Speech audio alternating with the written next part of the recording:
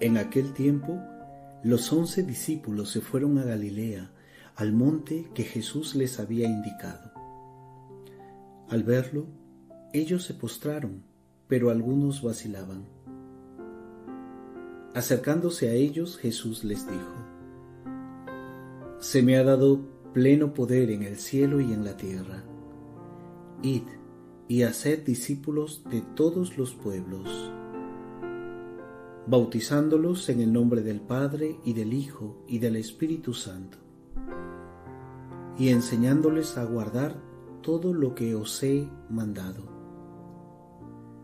Y sabed que yo estoy con vosotros todos los días, hasta el fin del mundo. Los discípulos son enviados no a enseñar una doctrina, sino a comunicar experiencia. Tienen una misión importantísima, compartir la acción de Dios en sus propias vidas. Mostrar a un Dios que desea ardientemente entrar en relación con el hombre, no para someterlo, sino para hacerlo su hijo y hacerlo partícipe de su propia vida. Como discípulo, debo crecer en esta conciencia. Dios me ama incondicionalmente, pero acoger su amor es aceptarlo presente y amarlo también en el otro, que es mi hermano. Cuando amo a mi hermano, crezco en fraternidad y me hago más hijo del Padre. Necesitamos convertirnos de una relación con el Dios Todopoderoso al Dios adorado por amor. Escribe San Juan de la Cruz.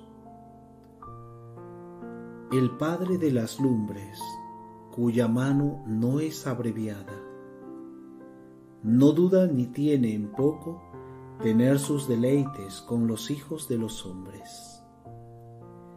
Y así, no es de tener por increíble que en un alma ya examinada, purgada y probada en el fuego de tribulaciones y trabajos, y hallada fiel en el amor,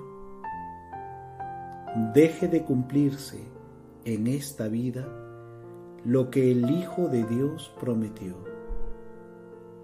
Conviene a saber que si alguno le amase, vendría la Santísima Trinidad en él y moraría de asiento en él,